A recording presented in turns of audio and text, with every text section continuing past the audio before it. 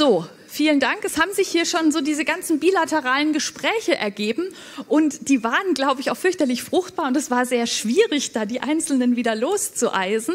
Nichtsdestotrotz, also wir haben 72 Anmeldungen nach Liste und wir möchten natürlich, dass jeder von Ihnen hier, wenn er auch nicht direkt zum Zug kommt, seine eigene Frage zu stellen, aber zumindest ähm, zu hören, was hier mit unseren Panelisten eben im Nachgang ähm, noch diskutiert wird, wo hier Anregungen ausgetauscht werden. Wir haben eine Stunde vor uns und nur ganz kurz zur Logistik, weil ich denke, es ist immer wichtig, dass Sie wissen, wie wir arbeiten.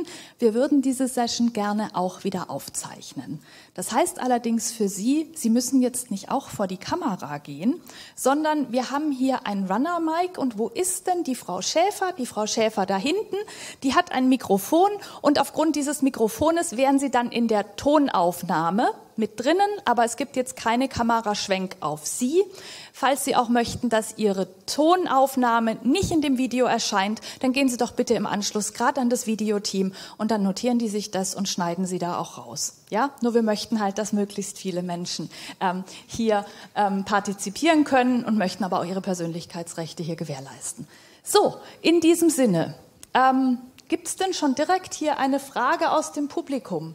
Ja, hier die Dame in der zweiten Reihe. Also einen Moment warten mit dem Mikrofon, dann hört es jeder und die Nachwelt hat es auch. Mich, mich würde interessieren, weil ähm, ich das zum ersten Mal von Ihrer Schule höre und total begeistert bin. Ähm, wie ist der erste Impuls entstanden bei Ihnen? Sie werden ja irgendwann auch eine Vision gehabt haben. Woher kam dieser erste Impuls? Ich hoffe, die ist nicht so persönlich, die Frage, aber mich würde es einfach sehr interessieren. Also der erste Impuls liegt schon 39 Jahre zurück. Ich bin nämlich schon 39 Jahre im Schuldienst und ich war 17 Jahre am Gymnasium. Und da habe ich immer schon anderen Unterricht gemacht, immer draußen, immer Projekte, immer Sachen in die Welt gebracht. Und dabei habe ich gesehen, was Kinder eigentlich alles können und wie die dabei aufblühen. Und dann habe ich drei Schulen aufgebaut und dann habe ich immer weiterentwickelt. Und jetzt die Schule in Berlin, die hat sich dann neu aufgebaut. Ja, und dann haben wir von vornherein so gearbeitet. Weil so ähnlich hatte ich auch schon an der großen Gesamtschule im sozialen Brennpunkt in Essen gearbeitet. Und jetzt gibt es aber eben auch Schulen, die ähm, schon bestehen und sich umwandeln, die schon ganz alt sind oder die vielleicht fünf Jahre alt sind. Und äh, der Impuls ist eigentlich sowas, was Sie gerade sagen. Ich bin total begeistert. Also wenn wir die Leute anstecken und wenn die begeistert sind und in der Regel habe ich sitze ich ja nicht alleine da, sondern ich nehme immer Schülerinnen und Schüler mit und die begeistern erst recht. Und äh, wenn man dann ja und dann kommt es darauf an, ob man jetzt Einzelperson ist oder ob ein halbes Kollegium dann angesteckt wird und dann geht es so weiter. Also meinethalben jetzt, wenn man dieses Format Lernbüro heißt das bei uns, mit dem selbstorganisierten Lernen nimmt. Da ist jetzt eine sehr große Unterstützung. Ich weiß nicht, ob Sie gerade unten waren im Plenum. Äh, Im Education Innovation Lab werden jetzt eben ganz tolle Lernbausteine hergestellt, äh, die man kaufen kann als Unterstützung für andere. Weil Material selber zu machen ist schon hart, sage ich mal. Ne? Und wir sind einfach wir haben das einfach immer gemacht. Und wenn nicht alles da war, war auch gut. Also unsere Schüler haben so richtig, sind so richtig Pioniere. Ich habe das so empfunden, also wer bei Herausforderung ins Ausland will, der muss vor die Schulkonferenz und quasi sich sein Okay holen. Und da waren so drei kleine Jungs, die wollten Permakultur in äh, Portugal äh, machen, also wollten da mithelfen. Dann haben sie gesagt, kannst du auch in Deutschland machen? Nein, haben die gesagt, nein. Ich hätte es aufnehmen müssen eigentlich. Äh, ähm, wir sind doch hier Pioniere. Ne? Nee, sie haben gesagt, wir sind da in Portugal und da gibt's das doch nicht und in der Gegend zum ersten Mal und wir helfen jetzt mit, das aufzubauen. Und wir sind doch Pioniere. Wir sind doch auch Pioniere hier für eine neue Lernkultur und die hatten das so begriffen und was eben toll ist, wenn nicht alles perfekt ist. Das ist das Beste, was passieren kann. Oder wenn die Schüler haben uns auch mal Rückmeldung gegeben und was nicht funktioniert hat, haben die alles miterlebt. Also die haben miterlebt, wie toll Scheitern sein kann oder Fehler zu machen. Und der Perfektionismus der Lehrer ist ja auch ein Hemmnis, ne, führt zu Beginnungslosigkeit. Erst wenn alles, alles, alles so fertig ist, dass man meinte, man hätte alles unter Kontrolle. Und das ist eigentlich genau falsch. Das hemmt einen ja auch so, auch die Schülerinnen und Schüler. Und jetzt habe ich mich so gefreut, da sitzt ja eine Schulamtsleiterin, ne? Das müssen Sie sich vorstellen, da kriege ich eine E-Mail von einer Schulamtsleiterin, können Sie mir für vier Schüler ausleihen, für eine Roadshow durch meine Schulen. Die Welt ist schon anders geworden. ähm, jetzt haben welche, gestern, als ähm, hier die Lufthansa da zu Besuch war, da haben Kinder von den neuen Bausteinen erzählt, die das Lab macht, Lernbausteine. Dann haben sie gesagt, oh, das macht uns so einen Spaß und wir, du bist wie der Polizist, so irgendeiner, da muss, muss so eine Polizistenrolle einnehmen. Und tolles Lernmaterial macht einfach auch super Spaß. Das ist, ist so und ähm, das ist eine gute Unterstützung jetzt. Ne? Aber der Zündefunke ist so angerührt sein und das ist am besten ist es, wenn du es siehst und fühlst und es nicht glaubst, weil vorher glaubst es ja nicht, dass die ohne Druck lernen. Ne? Jetzt ist bei uns immer, wir haben 200 Lehrer im Durchschnitt, also die Zahl kann sich nicht mehr erhöhen, aber jetzt wird es ja dem bald auch andere Schulen geben. In Aachen ist zum Beispiel auch eine, die, da kann man auch mal hospitieren. Und, aber die, die Anfangs, der Zündefunke muss dich in deinem Herzen erreicht haben. Dann ist die halbe Miete drin. Schönes Schlusswort. Dankeschön. So, wo haben wir denn weitere Fragen? Da hinten der Herr vielleicht? Sie waren so schnell, vielleicht könnten Sie das Mikrofon gerade da nach hinten geben? Hallo, ähm, Sie haben vorhin von, oder auch gerade von Begeisterung gesprochen. Und da steckt ja auch das Wort Geisterin. Also was, was sind die Bedingungen, dass eine Schule oder auch eine Organisation wirklich diesen, diesen Geist hat, diese Beseeltheit? Sie sprechen auch von beseelten Schulen vielleicht auch Hochschulen oder Organisationen. Was, was macht das aus? Worin spürt man das? Und was sind die Bedingungen, damit dieser Geist, diese Seele wirklich zum Vorschein kommt? Herr Schmidt, möchten Sie das Mikrofon? Also erstens möchte ich einfach ergänzen, es gibt auch Unternehmen, die eine Seele haben. Ich scheue mich auch nicht, diesen Begriff zu verwenden. Ähm, also klar ist, es muss äh, irgendetwas sein, was die Menschen angeht. Wir arbeiten zum Beispiel sehr mit inneren Bildern, dass die Menschen in ihrer Biografie forschen, ähnlich wie die Frage auch gerade da war, was sind eigentlich Kindheitserlebnisse, Schlüsselerlebnisse, was sind Überlieferungen der Familie, die mir im Hintergrund meiner Tätigkeit eigentlich sinnstiftend sind. Und viele Menschen hangeln sich dem intuitiv zwar irgendwie entlang, haben aber keine Sprache und keine Kommunikation mit anderen äh, dazu und dann laden wir dazu ein, über solche inneren Bilder sich auszutauschen und das Zusammenspiel zwischen bewusstem Verstehen und intuitivem Verstehen bei sich selbst und im Zusammenspiel zu schulen. Ähm, vielleicht was im Unternehmensbereich äh, sehr wichtig ist, dass wir das nicht im Privaten lassen sondern dass wir überlegen, und wenn das so ist, wie können wir diese Qualitäten eigentlich in unsere gegenwärtigen Organisationsrollen reinnehmen? Wen von den anderen Menschen brauchen wir wieder zu, um von der Qualität mehr zu spüren? Und wie können wir anderen auch verständlich machen, wie wir ticken, was uns im Hintergrund bewegt? Also eine, eine Kommunikation des gegenseitig sich Anteil nehmen lassens an dem, was uns begeistert. Und am Ende, glaube ich, hält es nur an als Kommunikationskultur und Organisation, äh, wenn das eingebunden wird in die Zweckorientierung der Organisation und in die Rollen und die Berufsentwicklung der Menschen und in einem gemeinsamen Verständnis. Äh, und das ist mir noch wichtig, dass Begeisterung nicht strohfeuermäßig im Privaten abgefackelt wird, sondern dass das eingebunden werden muss, weil das sonst keine Nachhaltigkeit bringt. Sollen wir auch noch mal kurz in die Seele der Hochschule schauen? Ja, wobei ich, ich, ich will jetzt eigentlich über die Frau Rassfeld reden und gar nicht über mich. Merken Sie nicht, wie das ansteckt? Wenn da jemand so für ein Thema brennt und diese Begeisterung einfach Tag für Tag in jedem Satz, den er sagt, äh, wieder in, in, die, in das Publikum und in, in die Schule, in das Kollegium und in die Mitarbeiter, in die Studierenden, in die Schüler hineinträgt. Das ist das, was entscheidend ist, dass da vorne jemand steht, der jeden Tag die Menschen immer wieder mitnimmt. Und das ist unglaublich anstrengend, oder? Überhaupt nicht. Ähm, schön ist auch, wenn Sie einfach Räume öffnen. Ich sage mal, wir haben ein Format, das heißt Schulversammlung. Das dient dazu, dass die Gemeinschaft erfahren wird. Jeden Freitag endet die, die Schule mit der Schulversammlung. Wir haben zum Glück ein schön großes Forum, aber früher haben wir es in der Turnhalle gemacht, geht auch. Das ist dann die gesamte Sek 1, 350 Schüler und immer eine Klasse bereitet die vor. Und als feste Elemente gibt es das öffentliche Loben. Dann kannst du eben auf die Bühne gehen und kannst jemanden loben. Das ist, kann so berührend sein, dass ihnen die Tränen in den Augen stehen. Ja? Ist gezeigter Mut auch, aber auch Wertschätzung. Dann singen wir zusammen das Lied der Woche. Und äh, dann die Geburtstagskinder kommen nach vorne und werden besungen. Das sind alles so kleine Elemente. Also fast alles, was wir machen, kostet kein Pfennig Geld.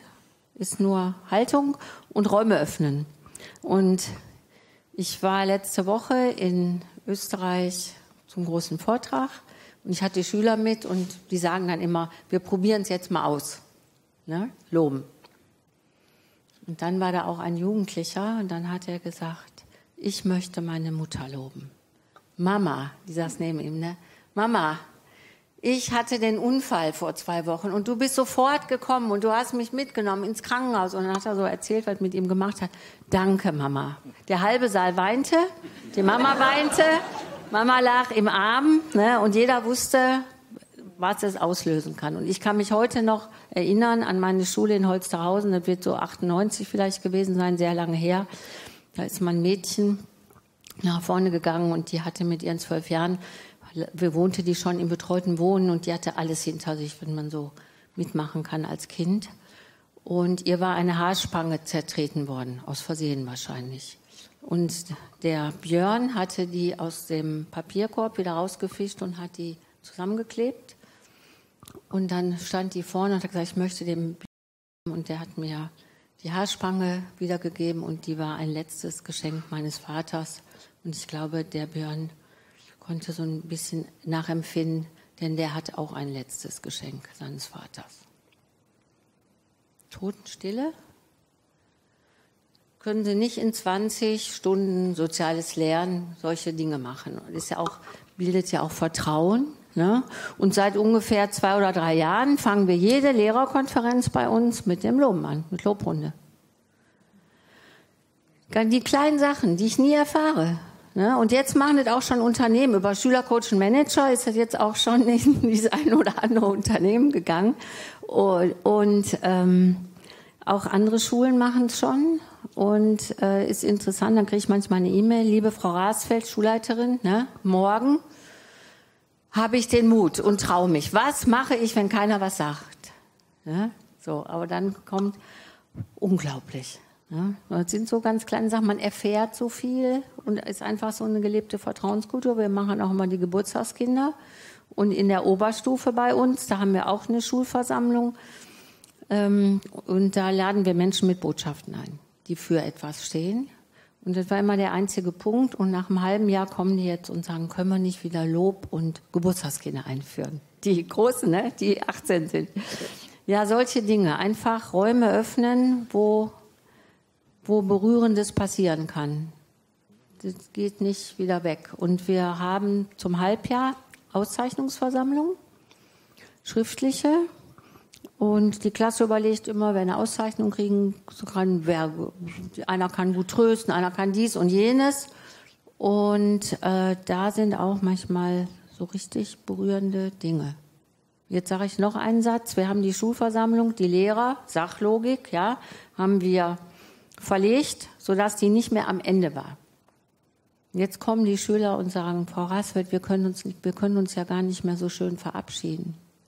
Die sind nämlich immer raus und standen noch mindestens eine halbe Stunde, die letzten auf dem Schulhof und umarmt und Tschüss gesagt, weil sie eben gemeinschaftlich dieses Ende hatten und rausgegangen sind. Und jetzt haben sie danach noch Unterricht und da gehen sie irgendwie raus und nach Hause. Und da sieht man, an welcher ganz kleinen Geschichte so viel hängen kann. Ne? Und deswegen Räume schaffen. Und dann passiert auch, passieren auch Dinge.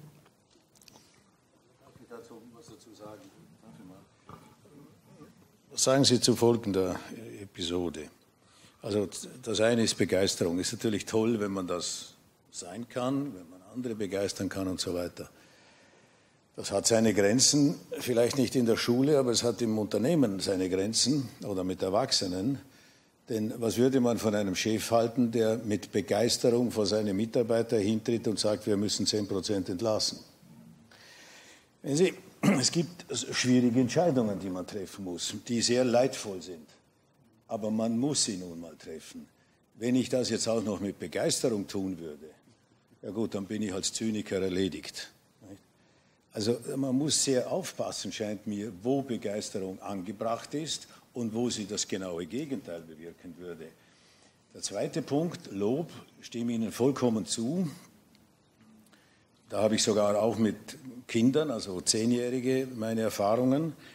Da kommt ein zehnjähriger Junge, der hat einen schlechten Lehrer, der hat sich aufgeregt über den Lehrer. Er war ein schlechter Lehrer, Anerkanntermaßen, in der Schweiz können Eltern sehr viel Einfluss nehmen auf die Lehrer. Sie können Lehrer wählen und abwählen. Eher ungewöhnlich in Deutschland und in Österreich. Und der war anerkanntermaßen schlecht. Aber die Eltern wussten nicht, was sie tun sollten. Das Schuljahr ging zu Ende, es lohnte sich nicht mehr. Und der kleine Junge sagte dann so en passant noch mit einem Schlenker, ja, und außerdem der Idiot lobt uns jeden Tag.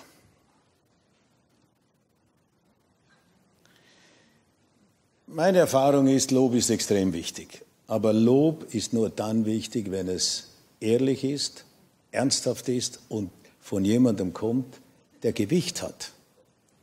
Ich nehme an, das ist Ihre Erfahrung auch, oder? Frage, ist das Ihre Erfahrung? Wer hat Gewicht? Jemand, der. Die Schüler loben sich untereinander. Ja, das können Sie natürlich machen, das ist klar. Aber wenn ich als Lehrer jeden Tag lobe, und zwar auch dann, wenn die Schüler nicht gut sind, ja, das geht aber in anderen Organisationen darum. Und äh, da meine ich, ist etwas Differenzierung nötig. So sehr natürlich wahrscheinlich Lob in den Schulen zu kurz kommt, da stimme ich Ihnen natürlich zu. Naja, dieses Loben, indem man Smiley klebt, ist eben nicht das, was ich meine.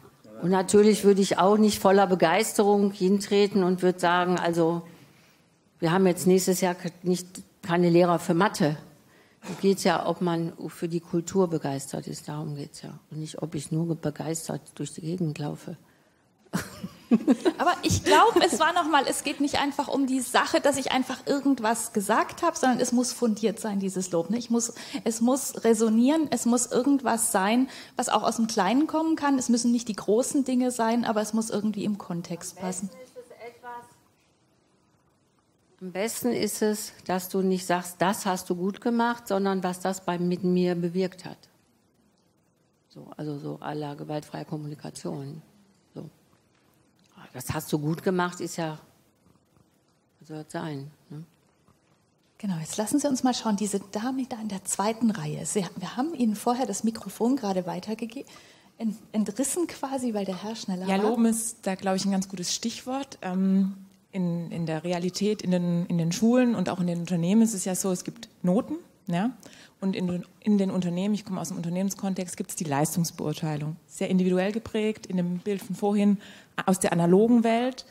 Ähm, hier wäre meine Frage, wie da Ihre Perspektiven zu der momentan noch existierenden individuellen Leistungsbeurteilung sind, im schulischen wie im unternehmerischen Kontext.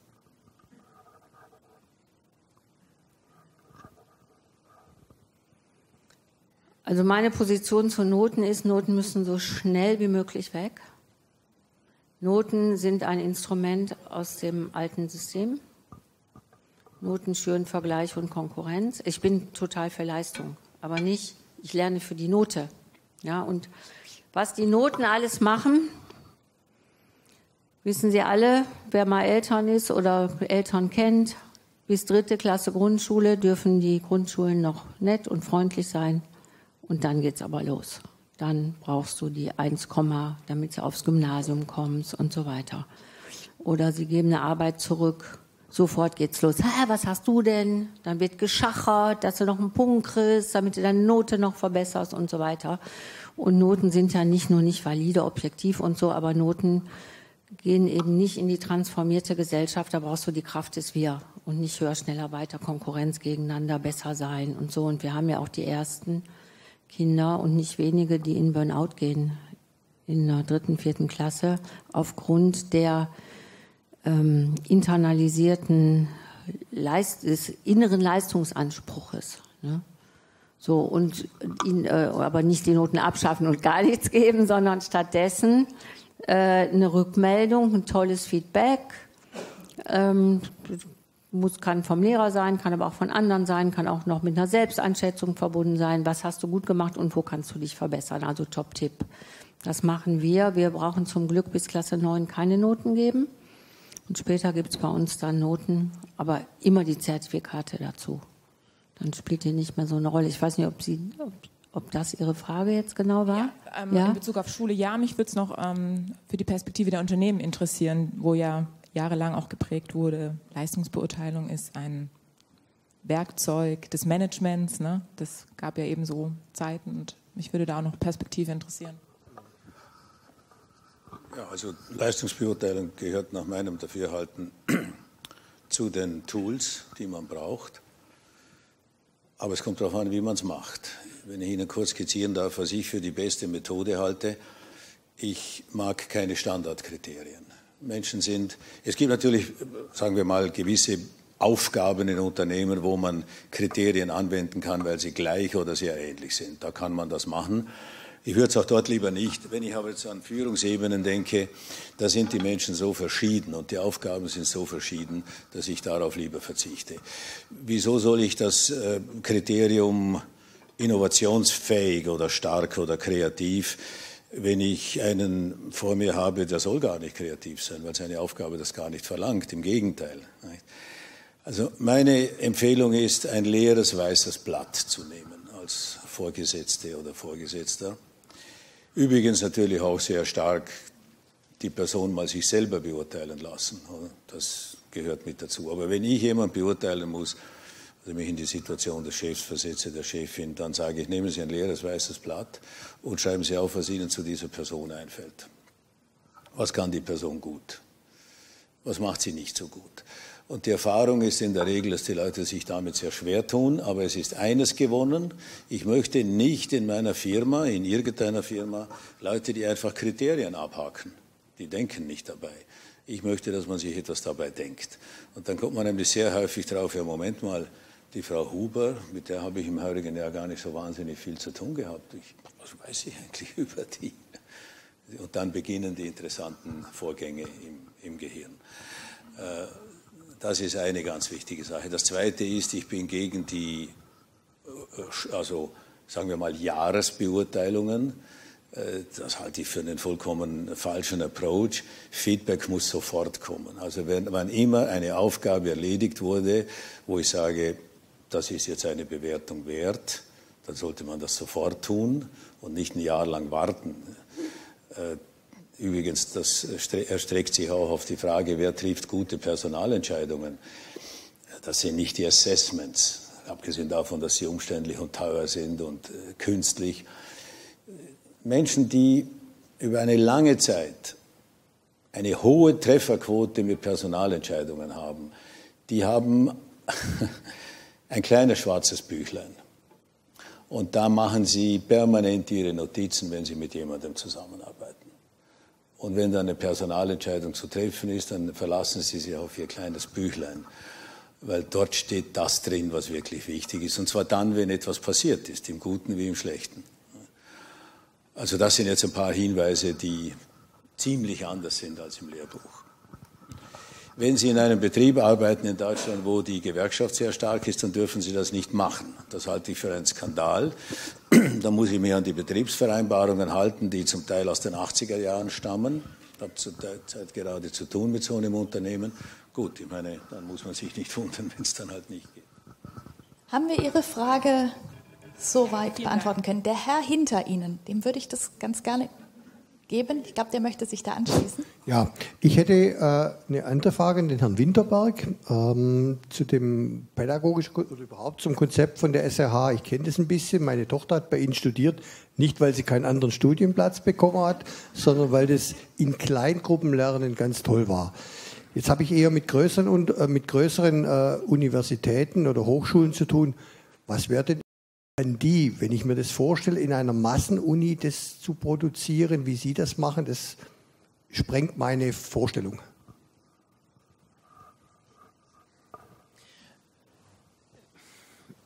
Sicherlich geht nicht alles, was wir da machen, äh, in einer Massenuni, aber ähm, es geht ohnehin nicht alles eins zu eins pauschal in jedem Fach, in jeder Kultur. Und deshalb äh, ist für mich immer die Frage, was ist eigentlich die Philosophie, die dahinter steckt? Die Philosophie, die dahinter steckt, ist, ich muss Menschen aktivieren und ich muss sie nicht irgendwie als passives äh, Lernobjekt sozusagen behandeln. Ich muss versuchen, Team, Teamarbeit ähm, zu, zu instruieren, äh, Menschen damit, dazu zu bringen, eben nicht alleine irgendwie im großen Raum oder im kleinen Raum äh, hin, zu Hause zu sitzen, sondern in Teams zusammenzuarbeiten. Und da gibt es ganz, ganz viele Methoden, die man auch ähm, in riesengroßen Hörsälen theoretisch nutzen könnte. Also ein, Beispiel, was ich immer nenne, ist, ist die sogenannte Murmelgruppe.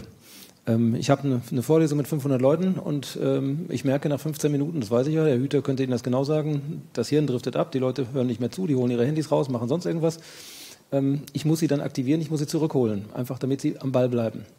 So, dann stelle ich eine kleine Frage. Ähm, bitte die Kollegen, also die Kommilitonen äh, mit den zwei, drei Nachbarn, die sie haben, mal darüber zu reden äh, und, und eine Lösung zu erarbeiten. Und dann gehe ich anschließend mit dem Mikrofon rum und frage mal, was habt ihr denn für Lösungen erarbeitet? Und schon habe ich die, also beim ersten Mal reden die über alles Mögliche, über das Wetter, über das äh, Lieblingsauto oder was auch immer. Beim zweiten Mal ähm, reden die über das Thema, das sie gestellt bekommen, weil die leisten sich das nicht, ähm, sozusagen dann vor 500 Leuten äh, nicht antworten zu können. Das Interessante dabei ist, dadurch, dass die in kleinen Gruppen mummeln, müssen die gar nicht ihre eigene Meinung darstellen und haben vielleicht das Problem, ich traue mich nie vor 500 Leuten meine eigene Meinung zu, zu, zu, zu, zu artikulieren, sondern sie können die Meinung der Kleingruppe ähm, artikulieren und damit geht auch diese, diese, diese, diese soziale Hürde runter. Das, das Beispiel zeigt, es gibt ganz, ganz viele Möglichkeiten, eben das, was die Grundphilosophie dahinter ist, auch durchaus in großen Gruppen einzusetzen. Das ist nicht so einfach. Ich frage mich dann immer, na, wenn ich 500 Studenten habe, Warum habe ich die zu 500 im Hörsaal? Warum nehme ich nicht äh, kleine, Kleingruppen A30? Den 500 kann ich ein Video zeigen. Also das, was ich in der Vorlesung mache, das kann ich auch aufnehmen und sagen, guckt euch zu Hause an, wann immer ihr lernen wollt. Dann nutze ich doch lieber die Zeit und beschäftige mich dann wiederum mit Kleingruppen und, und, und, und, äh, und bringe die aktiv zum Lernen. Also vieles geht, nicht alles geht. Aber die Frage ist eben auch, ähm, müssen die Gruppen eigentlich wirklich immer so groß sein? Da könnten wir jetzt über Anreize, über Personalstrukturen, Universitäten reden, alles Mögliche. Da gibt es viele Dinge, die man äh, sich nochmal genauer angucken könnte. Prima. Ich glaube, wir hatten da noch eine Frage in der ersten Reihe. Hat sich erledigt? Sehr gut. Vielleicht, wenn wir das Mikrofon da nach hinten wandern können. Das wäre ganz toll. Vielen Dank.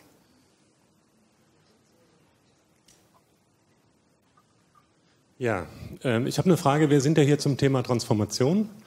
Und ähm, Transformation für mich ist ähm, radikal, unternehmensweit und bis auf Mitarbeiterebene. Und ich habe es viel zu tun ähm, mit Unternehmen oder mit auch Schulen, äh, die bestehen. Und was Sie, Frau Ratsfeld, jetzt gesagt haben, Sie haben gesagt, Sie haben Ihre Schule gegründet. Ich habe auch mit Startups zu tun. Und mich würde interessieren, welche Ratschläge haben Sie an bestehende Institutionen, und bestehende Schulen, dass die sich radikal verändern. Braucht es da einen, der begeistert ist? Wie kriege ich das auf die Begeisterung von vielen? Ein Kollegium ist eben institutionell ein Kollegium, das heißt, alle sind da irgendwo gleichberechtigt. Und ja, welchen Rat haben Sie da, wenn sich die radikal bis auf Mitarbeiterebene, das heißt bis auf Lehrerebene, verändern sollen?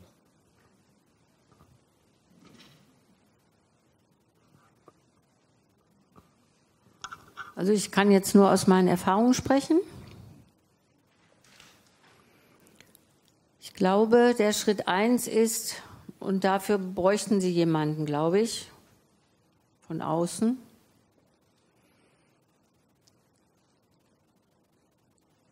Ein Bewusstsein darüber zu bekommen, was Sie mit dem, was Sie tun, bewirken. Also mal rausgehen. Wir sind in Schule immer, bleiben in Schule und jetzt machst du vielleicht in Mathe noch ein Programm und da machst du noch dieses, aber mit der Meta-Ebene anzufangen.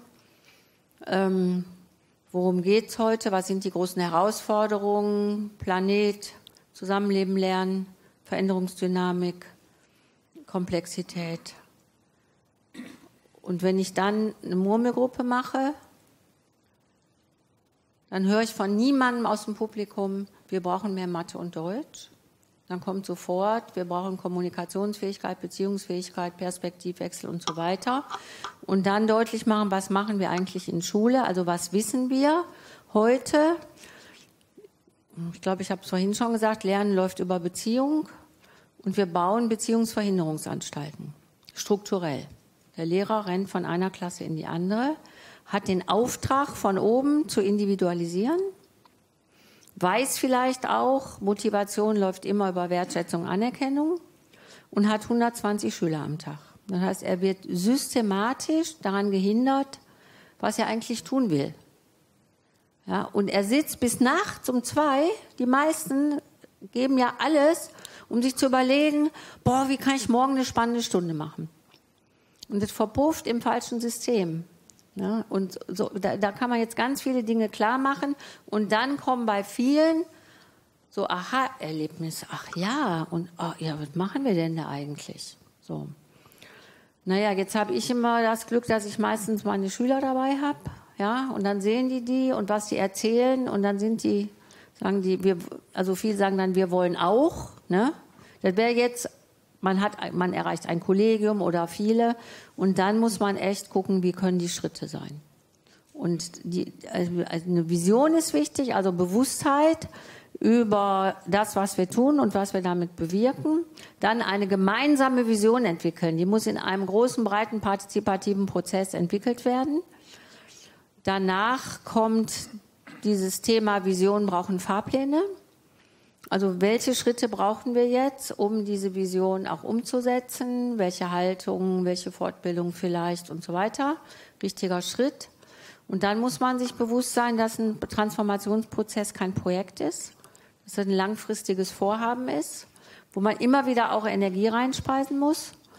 Ja, und da muss man gucken, welche Schritte man geht. Aber eine Vision hat eine positive Herzenergie. Was wir machen im Moment seit Jahren, ist Reparatur des Alten. Und da hat keiner Lust drauf. Jetzt soll sie dieses auch noch machen und jetzt soll sie dieses auch noch machen. Aber zusammen eine Vision zu entwickeln. Und was ich dann eben auch festgestellt habe, ist, wenn die Vision dann noch so ein Ethos oben drüber hat. Das sind für mich jetzt die SDGs. Deshalb, ach so, ich kann, ich kann noch etwas sagen. Ähm, es gibt ja auch Studien. Also erstmal wissen wir, dass 50 Prozent des Humanpotenzials in der heutigen Schule nicht gehoben werden kann. Punkt, ist ein Fakt. Fünf, also wir können auch sagen, es gibt eine riesen Schatzkiste noch. Der Delors hat das damals auch rausgefunden. Deswegen heißt sein Buch auch Learning the Treasure Within. Aber in der Schule, wie sie heute ist, mit dem Fachwissen zugeknallt, kann, kann sich dieses Potenzial nicht entwickeln. Sodass man da Hoffnung haben kann, dass wir tatsächlich auch noch die Welt verändern, ja, dass wir das schaffen. Dann gibt's aktuell, dann wissen wir, wir hatten noch nie eine so engagierte Jugend wie jetzt. Die wollen eine andere Welt, die wollen mehr Gerechtigkeit, die wollen sich ökologisch äh, einsetzen und die wollen sogar, viele von denen, lieber Sinn in der Arbeit als mehr Geld. Da ist ja auch gerade so ein Change in Gang. Und die, es, es hat gerade eine Studie stattgefunden vor zwei Jahren. Äh, es wurde untersucht, das Nachhaltigkeitsbewusstsein der 15- bis 23-Jährigen. Die Studie ist von der Leuphana Universität. Und dann ist rausgekommen, quantitativ hat Bildung für nachhaltige Entwicklung sich entwickelt. 81 Prozent oder 71 Prozent haben den Begriff schon mal gehört vorher irgendwie 30 Prozent und so eine Unterrichtseinheit haben auch schon mal viele gemacht. Was hat der Krieg im Kongo mit meinem Handy zu tun oder solche Sachen? Aber sie sagen, Quantität ist nicht gleich Qualität, qualitativ eine reine Katastrophe. Bildung für nachhaltige Entwicklung ist im heutigen System nicht umsetzbar. Die ganze Engagementbereitschaft der Jugendlichen wird zugedeckelt durch eine volle Woche durch Fächerkorsett, davon sprechen die, du rennst nach Hause, machst Hausaufgaben, lernst für den nächsten Test und so weiter. Du hast überhaupt keinen Freiraum.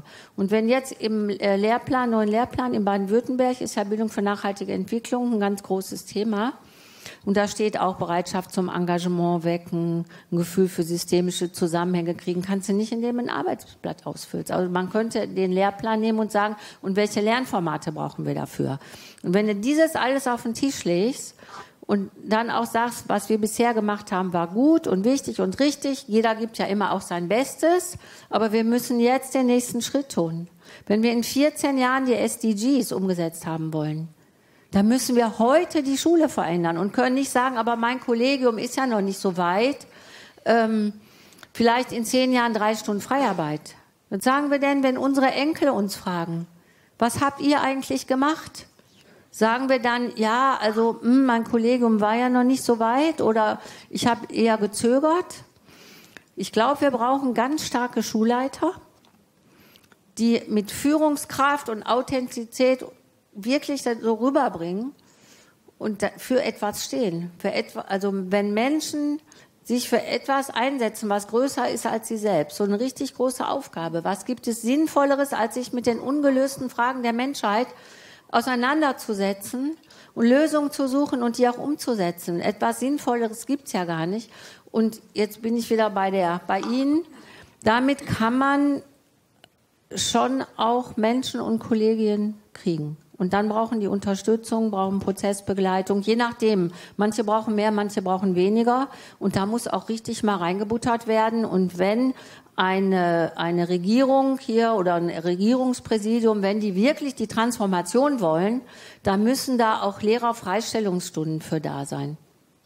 Ja. Was fällt vielleicht an der Stelle, weil ich sehe noch so viele Punkte. Vielen Dank erstmal für einen Input.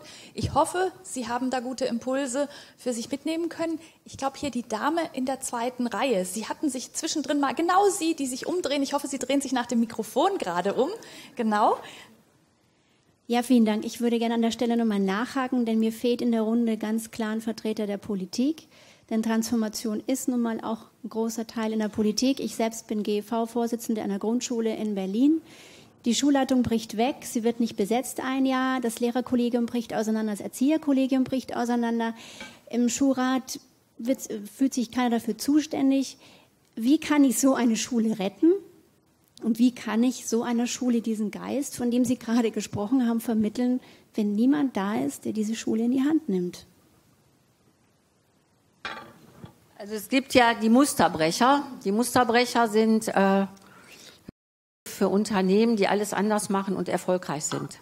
Und da gibt es einen Unternehmer, der ist mal ein Jahr auf Reisen gegangen und hat alles seinem Kollegium überlassen, sein Unternehmerschaffen. Als der wiederkam, lief sein Unternehmen besser als vorher.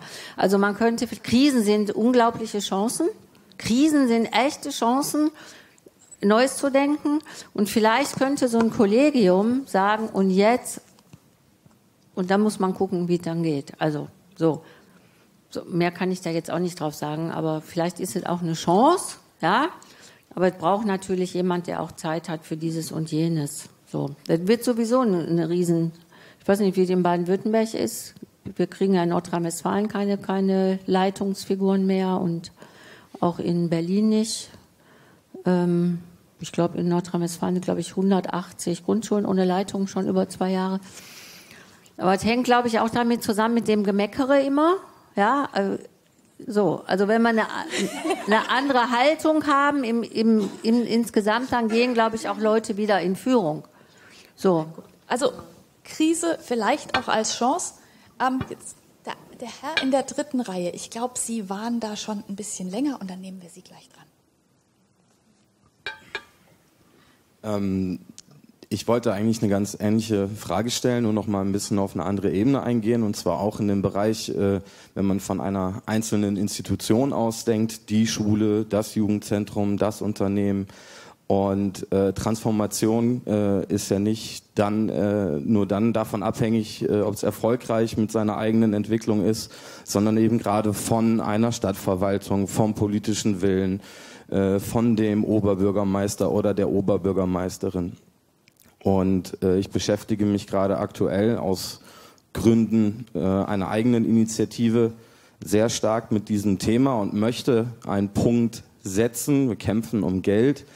Ähm, und ich habe das Gefühl, dass äh, nicht nur bei uns, sondern bei vielen anderen Initiativen, wenn das so klar ist, wir brauchen alle Veränderungen und es gibt die äh, Sustainable Development Goals und das ist oh, die Veränderung und es ist überall Common Sense. Und es sprießen tatsächlich ganz viele äh, junge Initiativen oder junge Unternehmen, Startups aus dem Boden und irgendwie sind wir uns alle einig, Transformation, yeah, Zukunft und so weiter.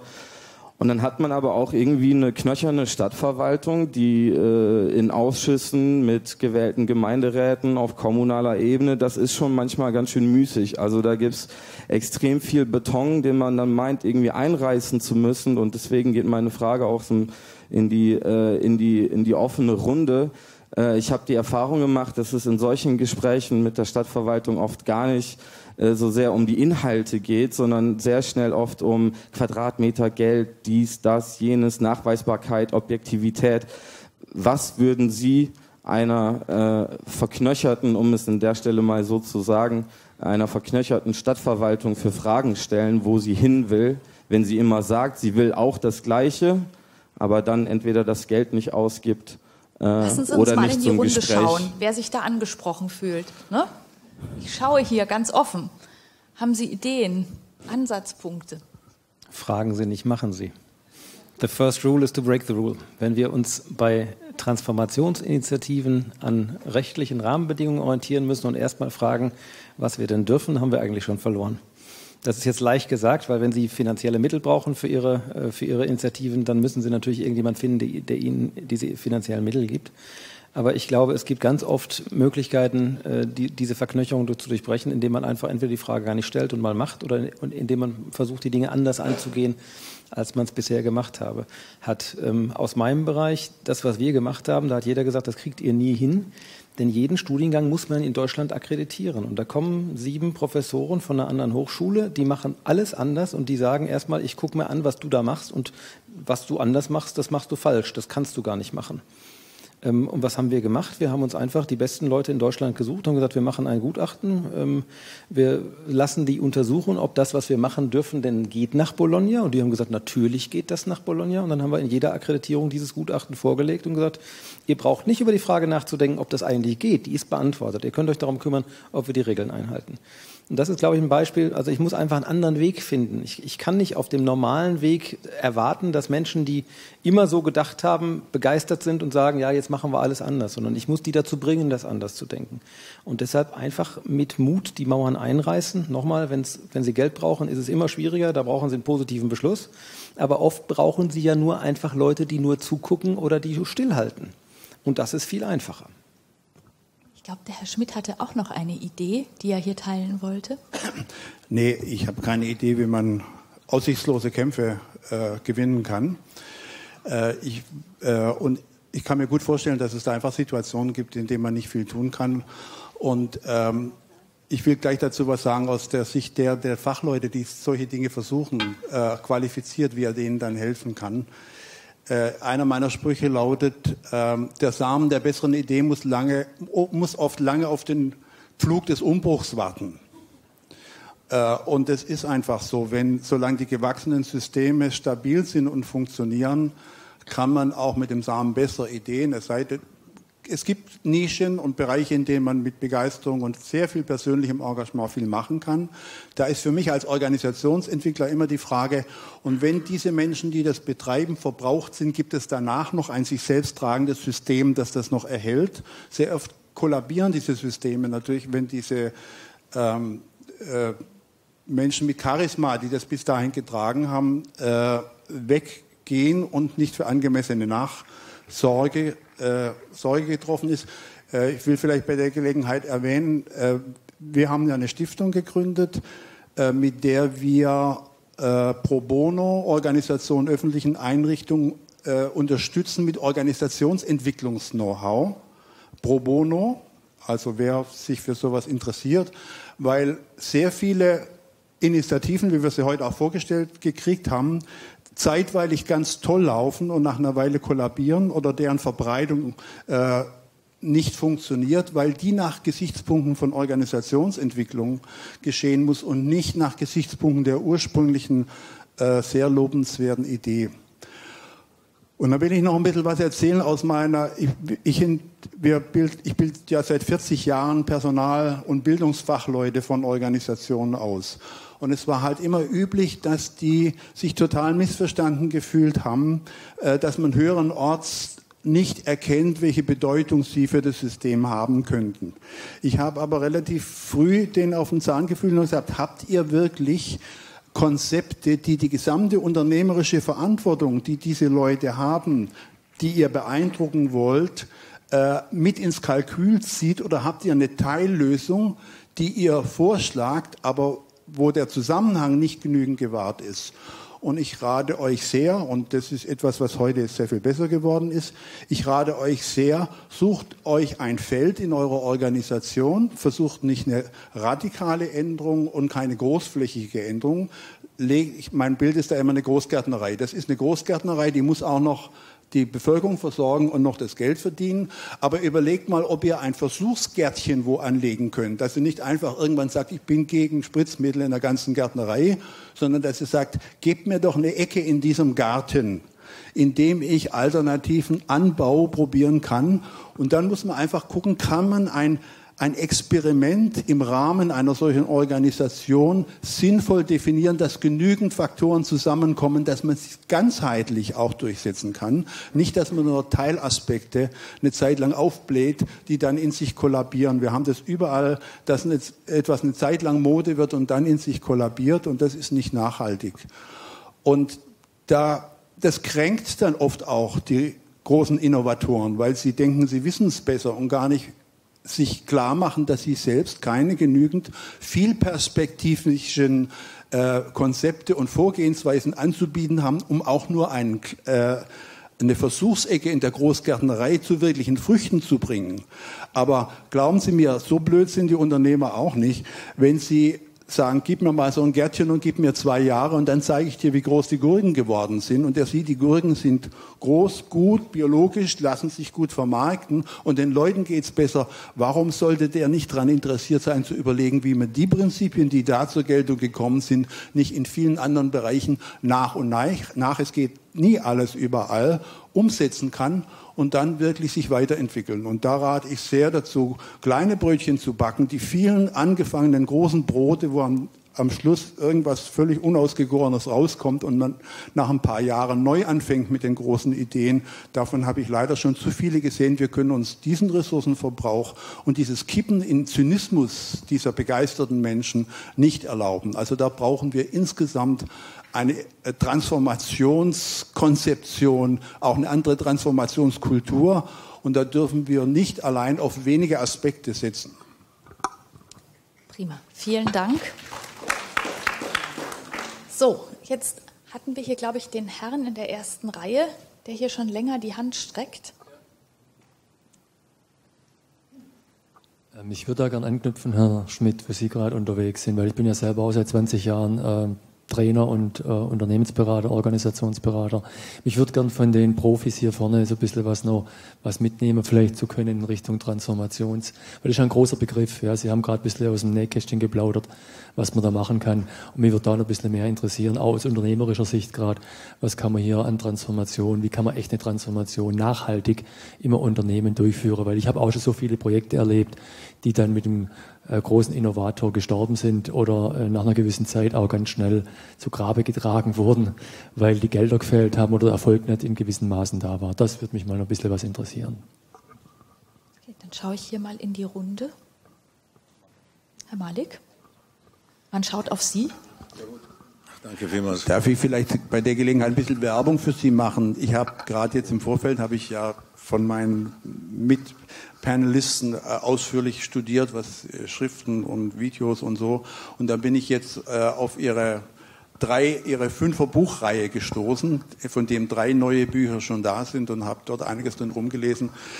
Ganz klar, dass das so ein Mensch in so einem Kontext nicht so schnell rüberbringen kann. Ich glaube, da wird man schon flügellahm, bevor man tief Luft holt, so viel Intelligentes äh, zum Ausdruck zu bringen. Ich möchte einfach dringend raten, gucken Sie sich solche Sachen an und lesen Sie es auch. Und es gibt darin kostenlos runterladbare Kurzformen von jeweils einigen Thesen, die ich beeindruckend finde. Ende der Durchsage.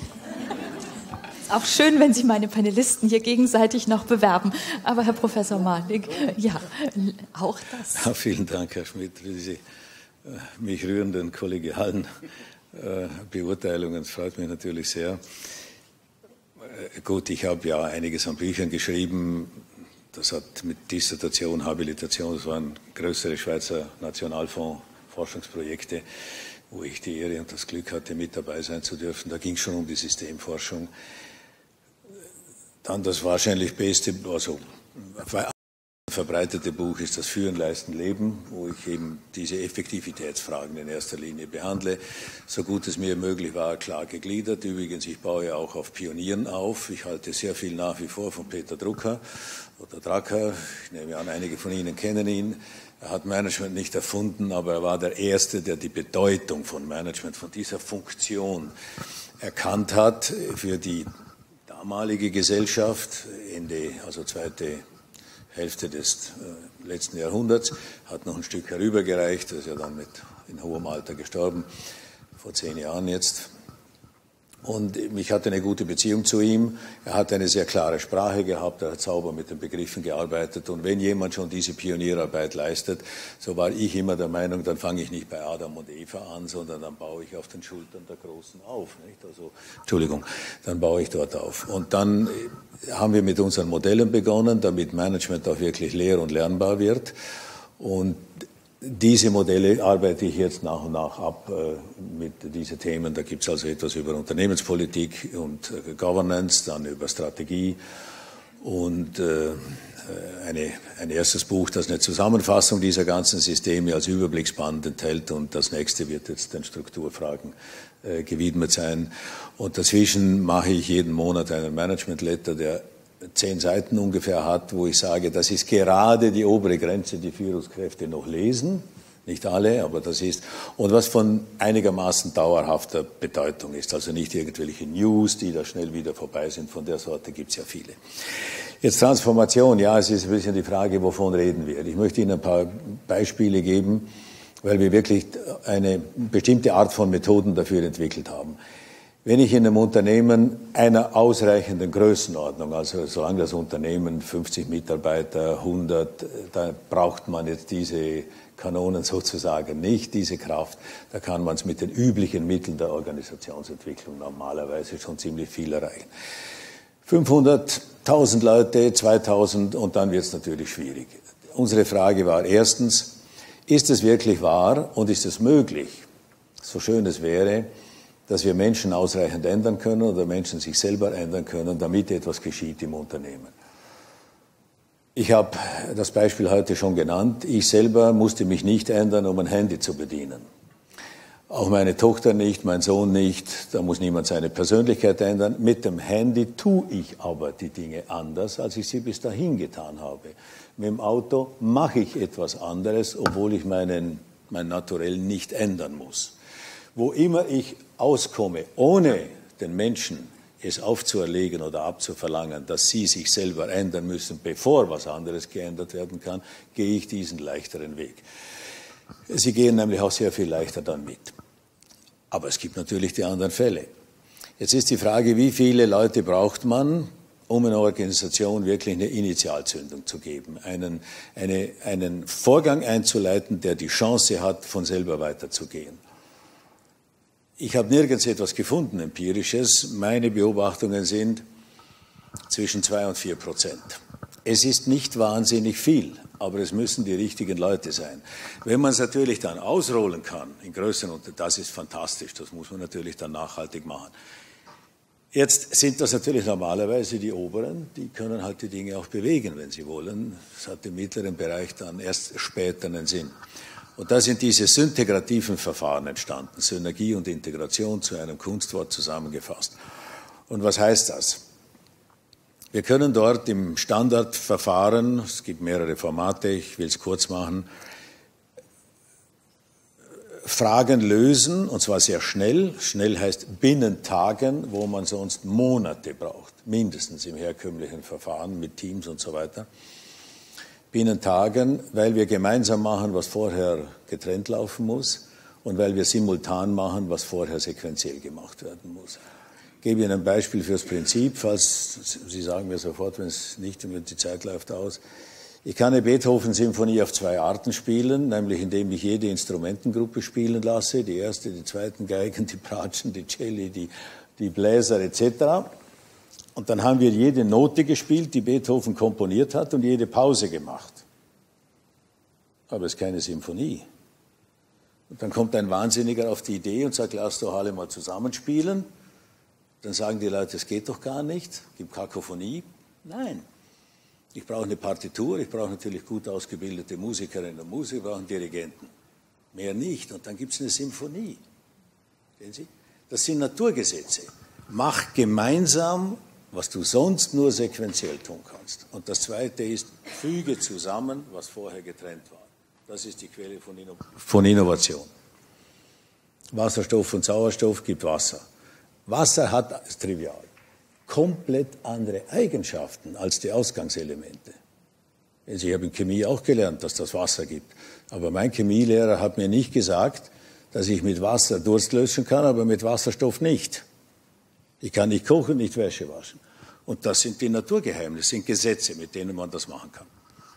Also dann bringen wir genügend Leute zusammen, das sind etwa 40 Personen, je nach Größenordnung, sonst muss man es halt multiple machen. Man startet mit der prioritären Herausforderung, die das Unternehmen jetzt hat. Das ist eine Führungsentscheidung, die in den Geschäftsleitungen fällt. Also, was müssen wir tun, damit wir unsere Kosten um 10 Prozent herunterbringen, ohne die Qualität zu reduzieren? Was müssen wir tun, um die akquirierte Unternehmung umfänglich in unser eigenes Unternehmen zu integrieren, sodass eine gemeinsame Kultur entsteht? Das wären solche Dinge. Oder was müssen wir tun, um auf dem asiatischen Markt Fuß zu fassen, ohne unsere Kosten explodieren zu lassen und mit den Chinesen ein einvernehmliches, äh, eine, eine zumindest vereinbare Kultur zu. Also Probleme dieser Art.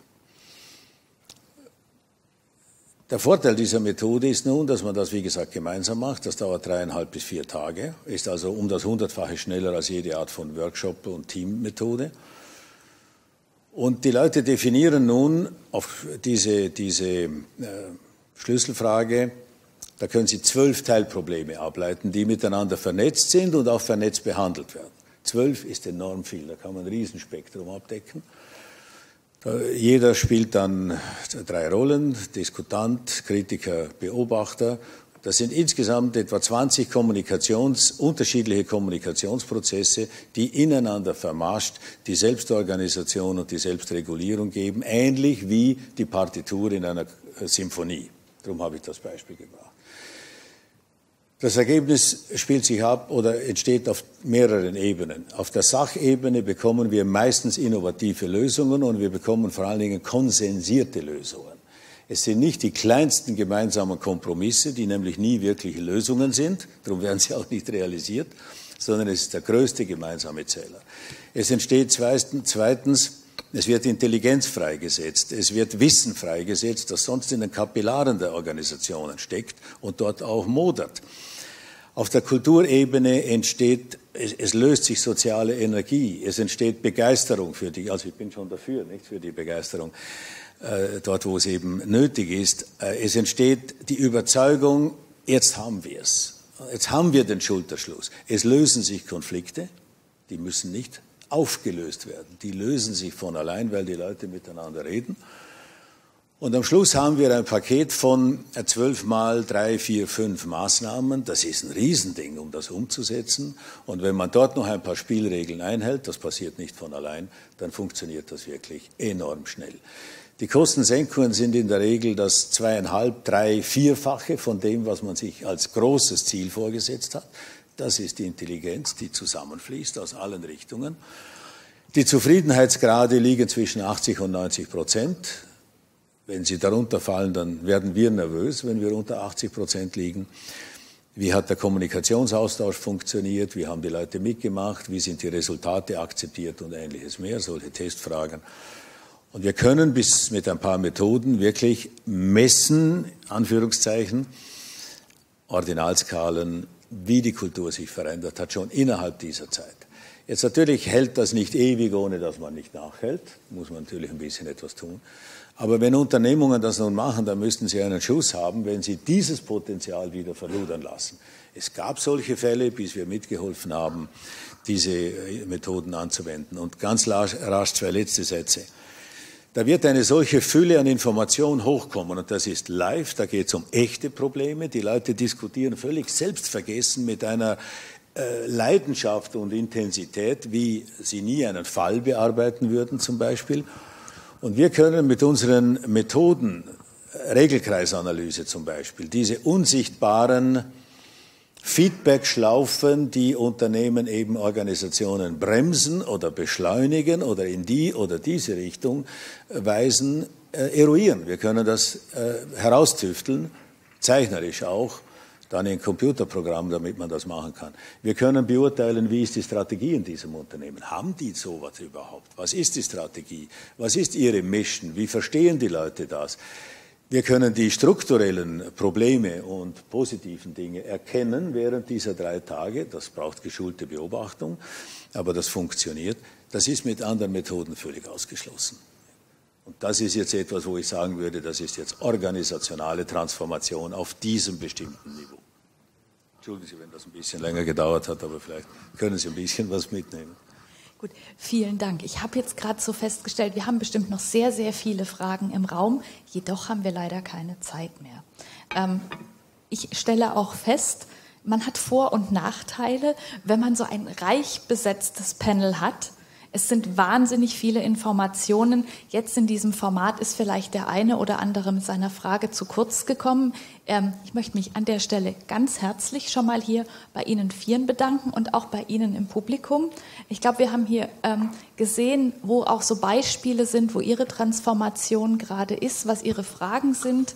Ähm, und wir freuen uns auch drauf, wenn wir das dann nach der Kaffeepause weitertragen können und schauen, wo können Sie vielleicht auch hier selbst Synergien und Netzwerke schaffen in der Rhein-Neckar-Region und auch darüber hinaus, um das Thema Transformation hier voranzutreiben. Was sind noch offene Fragen, die Sie beschäftigen? Ähm, aber was sind auch Angebote, die Sie schon mitbringen, um Transformation gemeinsam voranzubringen? Mit dem möchte ich mich jetzt verabschieden und dann sehen wir uns hoffentlich nach der Kaffeepause sehr reichhaltig um 16.30 Uhr wieder. Das machen wir dann genau. Wir werden dann in Untergruppen weiterarbeiten, um dann, weil jetzt warten wir erstmal, wir hoffen jetzt, dass Sie alle wiederkommen. Das ist der erste Schritt. Und dann versuchen wir, sie in arbeitsfähige Gruppen zu bringen, damit sie dann auch dort in den direkten Austausch treten können. Also der erste Schritt wäre jetzt erstmal alle wiederkommen um 16.30 Uhr und dann arbeiten wir weiter. Wir freuen uns auf Sie. Vielen Dank. Frau Dörner, darf ich noch ein letztes Wort ich mich jetzt ausklinge bis ganz zum Schluss bleiben, meine Damen und Herren. Herzlichen Dank, dass Sie vielleicht auch wegen mir unter anderem nur Viertelsaufteilung äh, da waren, insoweit Sie das interessieren, was ich hier beizutragen hatte. Herzlichen Dank auch Ihnen als äh, Kolleginnen und Kollegen. Es war mir ein Vergnügen, es war mir eine Ehre und ich bin jetzt nicht äh, Spezialist für Ihr Fach, für Schulen und so weiter, sondern eben für andere Dinge. Herzlichen Dank und alles Gute Ihnen.